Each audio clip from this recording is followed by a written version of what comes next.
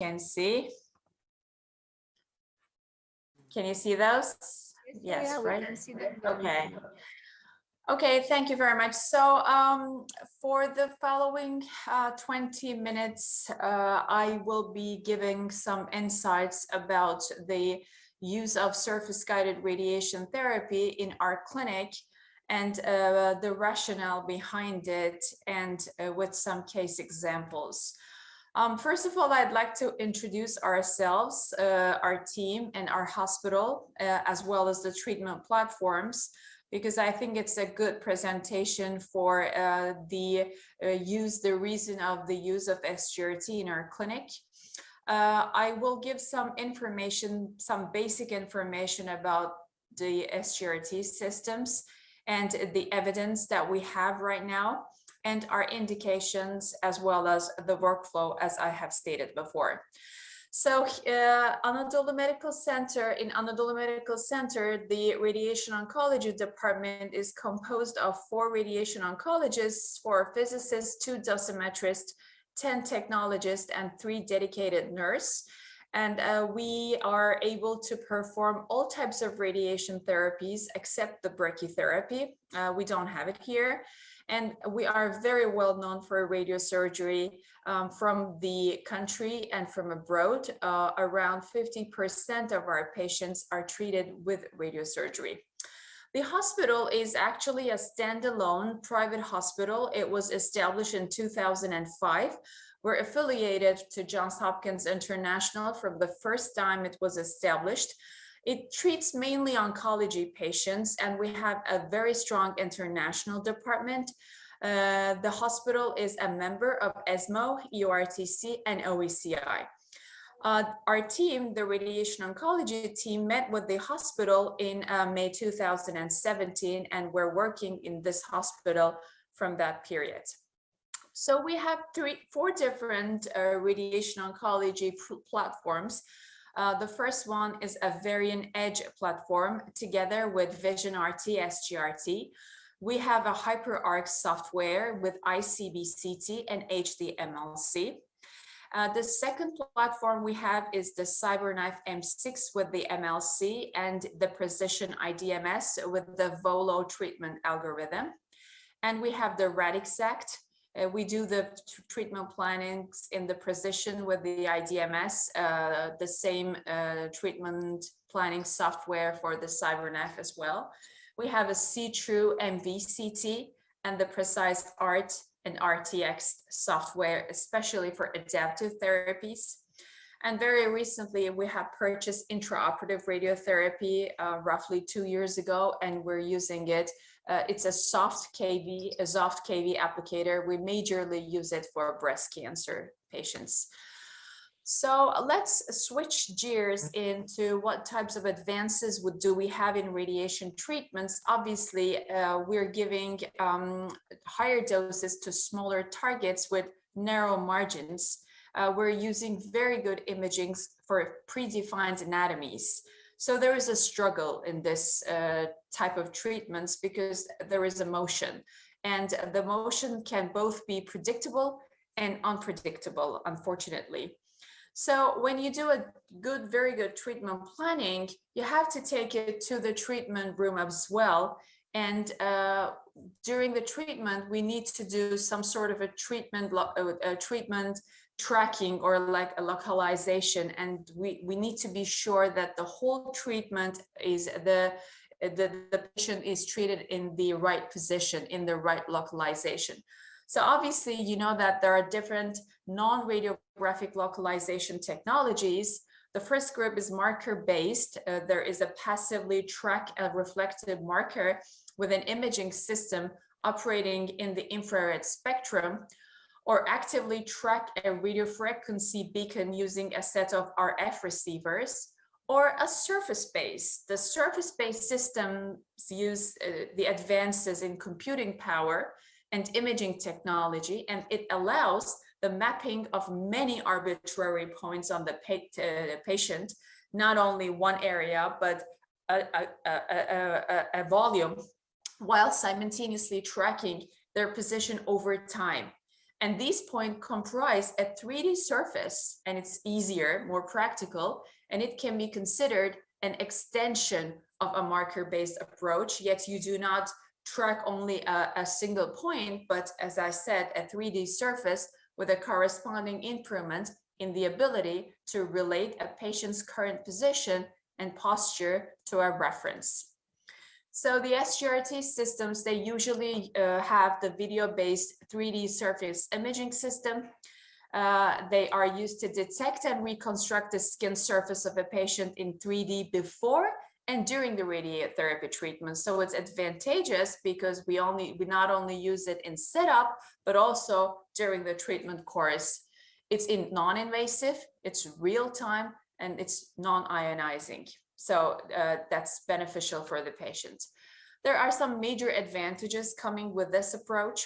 Uh, it enables the reduction of initial setup variability. I will show you. Um, it provides verification of immobilization continuously during the treatment. So it's a major advantage. And you can use it in non-coplanar Linac gantry angles as well, compared with other techniques, because we, uh, we use a lot of uh, non-coplanar um, angles, especially for intracranial SRS or some very large lung tumors uh, because of a, a better dose distribution and it provides dynamic surface information for use in gated and breath hold treatment techniques, which we use a lot in our LINAC-based systems, especially for thoracic and intra-abdominal targets. It permits reductions in the margins required to account for your target localization uncertainty, the ability to use immobilization techniques that confer greater comfort to patients, and the reduction in imaging dose through reduced radiographic localization requirements, it improves uh, the speed, efficiency, and safety of clinical workflows. So this is this slide is actually a summary of what I have said in the previous three slides. We use it for patient positioning it, because it reduces overall treatment time and it reduces imaging dose. We use it for real-time monitoring during treatment. It adds additional level of safety and it's uh, we can detect the online surface deviation.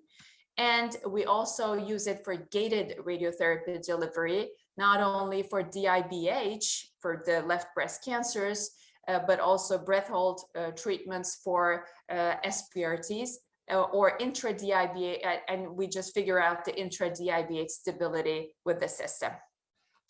So uh, the for patient positioning, the SGRT gives some uh, in-room online information uh, of the complete surface and position of the patient.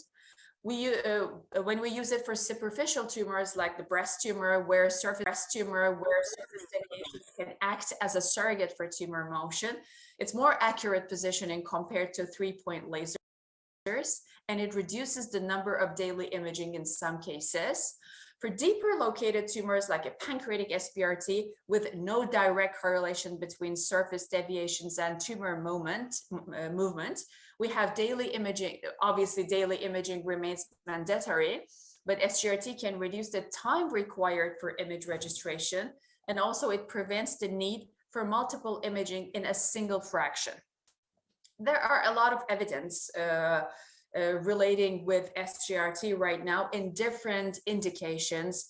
Uh, uh, those are indications for deep inspiration breath hold, uh, but it, it, it, also can be used in pelvic malignancies like prostate cancer or in head and neck cancer. Uh, it's, it, it, it, increases the reliability. I would like to give some more information about this uh, publication. I think it's a very elegant publication. It's a review of in-room IGRT methods before and uh, during the lung SBRT and the surface monitoring systems, uh, uh, this uh, publication have stated that the surface monitoring systems are advantageous in detecting unexpected patient motion like cough or whatsoever and breath hold treatments can be done more efficiently. And this is what we experience in our daily practice as well. So what is this system? This is the basic components of the system. We have it the main workstation and the vision rt pc at treatment console And we have uh, the workstation and camera pods in the treatment room, and also the calibration plate, which calibrates the pods. And this is what the physics physicists are doing in the treatment room. So how do we fix it? So this is actually from our room. This is the edge room. There are three camera pods. You see ceiling mounted camera pods and each pod contains two camera sensors and a projector enabling real-time surface reconstruction. And the live surface is registered to a reference surface generating 6D shift information they're, they, they're all real-time data, data, data. So this is what, it, what we have in one camera pod. You see there are image sensors and, and LEDs and the projectors. So it gives real, real-time information. We also have the RPM system in our clinic, but it's not obligatory. You don't need to have that, but we also have RPM camera as well. So what we do, the three pods project a speckled red light pattern onto patient surface and the stereo camera pods image pattern in 3D and software reconstructs the full surface. And then the surface is matched in real time to a reference image. The reference image come, can come from the planning CT or the day, uh, the day of diffraction from AlignRT before doing the setup. So the workflow is like this. Uh, we we have a, a surface image and then we create a ROI. This is this means region of interest. Although the entire reference surface is displayed, we we always have to create an ROI. This is us who creates the ROI. It usually is uh, the area which does not move a lot and the area which reflects the motion of the treatment uh, field. But in some cases, two different ROIs can be used for the same patient as well. So this is the workflow. So when we uh, finish the treatment, we export uh, the uh, uh the uh, the structure, the and the plan to this to the OSMS to the Vision RT. But in that case, you need to have a body in your treatment planning CT, and this is for the ISO center there is some voice coming. Can you hear me? Yeah. And um, then after we, uh, in the treatment room, uh, we have the reference surface and then we have uh, the ROI and we fuse them together. And first of all, we do the postural video for setup. We use it for initial setup. This is uh, how we get the initial setup and then we get the image guide, uh, the uh, CBCT and after the CBCT, before starting the treatment, we set the patient up. During the treatment, we also have to check those areas is if if the motion in every way is within the limits that we created before in six dimension. So in our clinic, before having a Vision RT system in the lung SBRT, we were using positioning, we were positioning the patient with lasers for initial setup. And uh, we were doing a 2D, 3D registration with KV-KV. We were having the first CBCT, we were applying the shifts in six dimension. We were having another second CBCT before starting the treatment. And during the treatment, we were uh, controlling the patient with the RGSC systems. And after the treatment, we were having another post uh, treatment cone beam CT to figure out that if, if everything went went fine. But after the Vision RT system, what we're doing is we're not having we're not positioning the patient with lasers anymore because we have the postural video. So there is no tattoos and no markers on the patient. We still do the first and second cone beam CT, but during the treatment, uh, uh, but not doing a 2D, 3D registration with KV-KV. Uh, we uh, not only check with our uh, RGSC systems, but we're checking the reference surface tracking systems and we're not doing the post CBCT anymore. So that definitely decreases the uh, door in, door out uh, period of the patient and definitely decreases the radiation dose for image guidance. So those are the indications where we use the SGRT systems in our clinic. Um, uh, we are using it in all thoracic and abdominal uh, and uh, pelvic uh, SBRTs for lung, brain, adrenal, spine, liver, prostate, and pancreatic tumors. As well as the conventional treatments like left breast, thoracic malignancies like locally advanced lung cancer and extremity sarcomas. Um, I, I would like to give some case examples of the major areas that we're using. First, first, the first indication, obviously, uh, the uh, most common indication where everyone is using the Vision RT in their clinical workflow is the left breast, because uh, the patients, especially when they're young, they're not being treated with uh, free breathing anymore, uh, because in order to spare excess amounts of heart tissue, now we're treating the patients with DIBH, deep inspiration breath hold.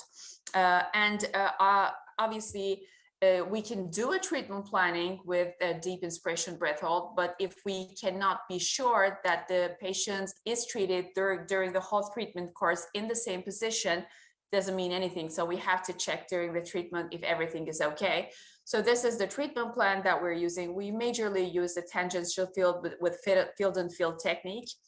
And then we send uh, we we we uh, set up the patient. So what we do is we're using the rgsc camera but uh, there are some there are the cameras of the vision rt systems as well. And the patient when the patient is holding their breath they are looking at the camera to put to keep their breaths in the predefined area um, for the deep inspiration breath hold and the Vision RT system outside the treatment uh, room, the console, we're monitoring the patient all the time.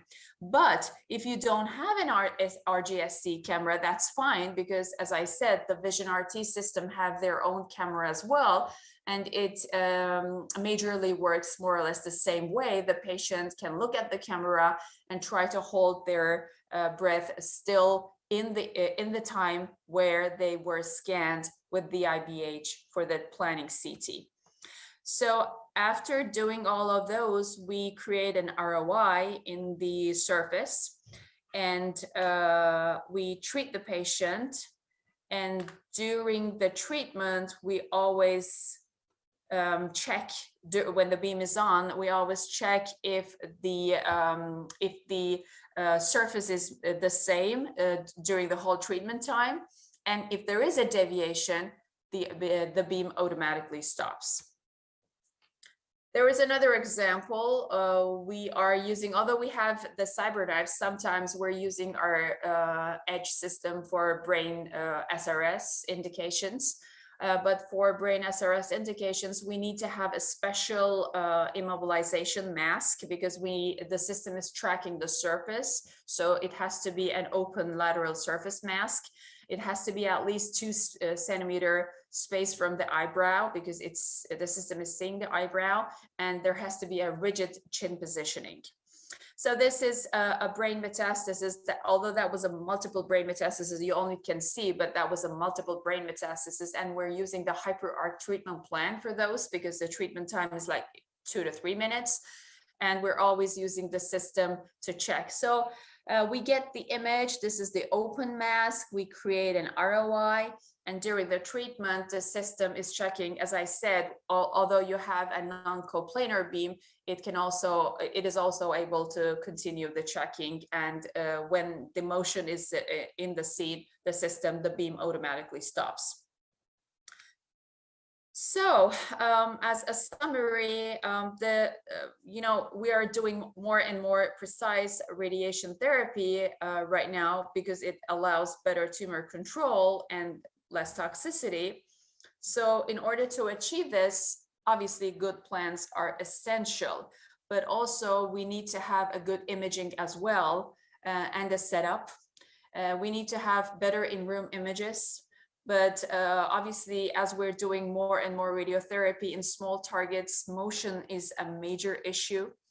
Uh, and uh, we started to do gating for some of those uh, moving targets, especially in the thoracic and abdominal cavity.